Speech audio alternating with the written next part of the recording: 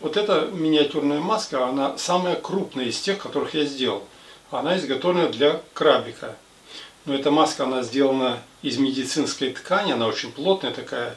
И главное, что вот эти усики, которые держатели, они регулируются, то есть они могут удлиняться, могут удлиняться и могут укорачиваться. Так, видите, насколько?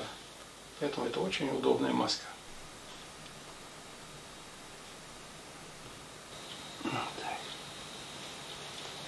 Сегодня сделал целый, целую серию миниатюрных масок для того, чтобы только привлечь ваше внимание, для того, чтобы вот заниматься и тем, что спасать нужно и насекомых, то есть не забывать о них.